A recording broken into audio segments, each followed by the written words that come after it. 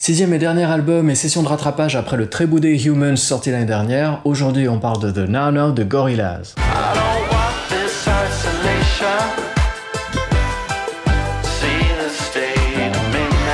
On fait pas durer le suspense plus longtemps, oui c'est un bon album, peut-être pas le meilleur, mais en tout cas il aura de quoi vous occuper les oreilles pendant un bon moment. Et il est annonciateur d'une très bonne tournée, car d'après Aurélien qui s'occupe des images de révision de nos classiques, l'émission dont j'avais déjà parlé auparavant, euh, le concert au Vieille Charrue a été, je le cite, légendaire. Donc si vous avez des sous de côté, euh, que vous avez une tirelire à casser, eh ben, c'est le moment d'investir dans un billet pour Gorillaz. Donc ça n'est pas sans doute le meilleur album, et pour être très honnête, je le préfère même moins à l'album qui l'a précédé Humans, qui pourtant était un album euh, extrêmement boudé par la presse, parce qu'il y avait trop d'invités, parce que la musique ne ressemblait pas à ce que les albums précédents avaient pu proposer. Euh, mais je trouve que c'est là que c'est dommage et euh, on, va s'intéresser un petit peu au, genre Gorillaz pour, pour voir un peu ce qu'on qu'on peut en dire. Gorillaz, si vous regardez sur Wikipédia, si vous lisez un peu les chroniques, on va avoir électro, électropop, trip-hop, euh, pas mal de choses en hop au final. Du reggae et du dub aussi, hein, effectivement, parce qu'il va y avoir l'album des remixes, je, pense à Space Monkeys versus Gorillaz par exemple, qui est donc un ensemble de, de tracks dub de Gorillaz, avec des remixes, etc., pas mal de choses. Euh, mais euh, il me semble que le, terme plus juste euh, devrait être, de mon point de vue, cartoon pop. Pas simplement parce que on a Murdoch, Russell, Dedé et Noodles, mais parce que en dehors de la virtualité de ce groupe, il y a vraiment quelque chose dans la musique et dans les paroles et dans les titres qui va aider à accompagner le trait de Jamie Hewlett, qui est le dessinateur de Tangirl, qui s'occupe aussi du coup euh, des visuels de Gorillaz. Il y a vraiment quelque chose qui est cherché à l'accompagner.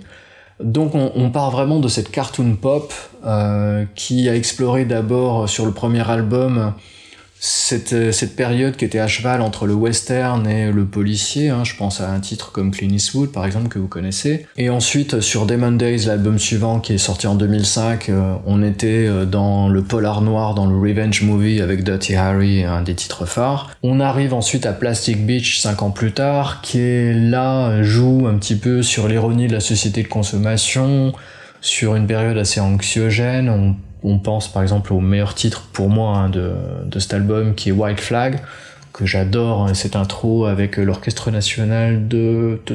Je crois que c'est... Orchestre national syrien pour la musique arabe. Ça nous donne un morceau euh, avec une intro démentielle et un final dantesque. Euh, cette track m'a fait sautiller partout pendant un sacré moment. Et puis il y a aussi euh, Stylo évidemment euh, avec le superbe clip où Bruce Willis joue un tueur à gage. On arrive à The Fall qui était un album un peu plus expérimental qui a eu le mérite d'avoir une release gratuite. Hein. Vous pouviez vous procurer tranquillement si vous étiez fan dans un premier temps et puis ensuite en accès libre hein, à une relativement bonne qualité.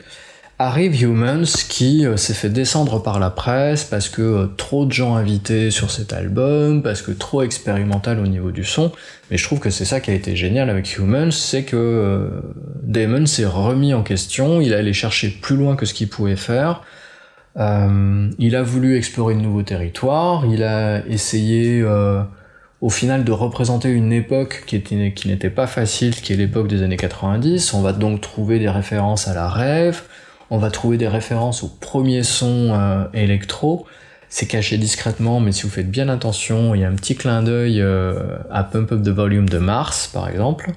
Il a fait euh, venir Grace Jones, qui est une icône des années 90 dans, dans, cet album, pour une très très belle track qui s'appelle...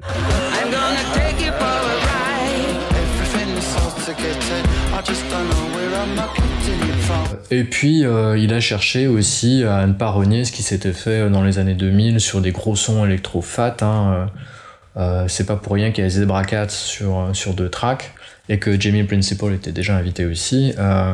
on va vraiment appuyer des choses qui sont un peu plus modernes, qui sont un peu plus proches de nous. Sur cet album-là, c'est donc un retour aux sources et il a un petit peu chassé tout ça, effectivement.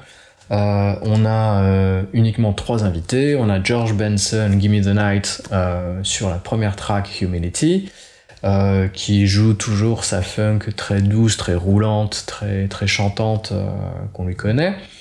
Et il va avoir sur la troisième track Hollywood Snoop Dogg, What's My Name, et donc Jamie Principal, House Made in Chicago, donc deux pontes vraiment de deux genres massifs euh, de, la musique euh, sur cette track, et ça nous donne un très très joli produit. J'ai pas obligatoirement apprécié l'ensemble de l'album, mais j'y ai trouvé ma track de l'été. Ça c'est sûr, je me la suis écoutée hier au moins une bonne trentaine de fois en repeat, ce qui est généralement bon signe, ça veut dire que ça va, ça va m'occuper pendant un sacré moment. Euh, c'est la deuxième track, elle s'appelle Trance, et c'est une sorte de pop que j'adore parce que elle reprend, elle vous laisse entendre qu'elle va reprendre tous les poncifs de la pop, donc euh, les riffs et les chorus, etc. Mais au dernier moment, elle s'en écarte et elle nous emmène un tout petit peu plus loin.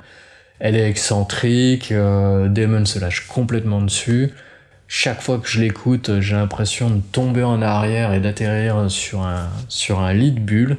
C'est juste la, la track parfaite pour moi, euh, j'en demande pas plus.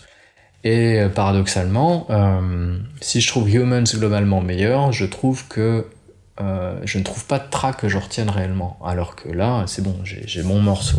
Et euh, je ne vais pas en dire plus pour cette review, si ce n'est que, encore une fois, oui, allez-y, faites-vous plaisir. Euh, vous risquez d'y trouver des choses que moi je n'y ai pas entendues. Euh, vous risquez sans doute même de beaucoup plus l'apprécier que moi. Je vous dis à très bientôt pour une prochaine review. Abonnez-vous si le cœur vous en dit. Ne vous abonnez pas si le cœur ne vous en dit pas. Euh, réseaux sociaux, euh, parce que j'oublie d'en parler, sur Twitter, c'est tropical avec un K, underscore masala, M-A-S-A-L-A. Voilà, on peut se retrouver là-bas. J'ai écrit euh, pas mal de conneries. J'ai un Facebook aussi, je vous mettrai l'adresse en lien, etc. Je l'utilise relativement peu parce que je trouve que c'est devenu un peu poussif, ça commence à faire un petit peu MySpace de la mauvaise époque Facebook. Et il y a, pardon, bien sûr le site oneam.club où vous pouvez y découvrir relativement régulièrement des tracks que je vais rediguer et que je remets comme ça euh, à redécouvrir pour les gens qui ne connaîtraient pas euh, tout ce qui a pu bercer euh, l'ensemble de ma vie musicale. Je vous dis à très bientôt, écoutez beaucoup de musique et sortez couverts.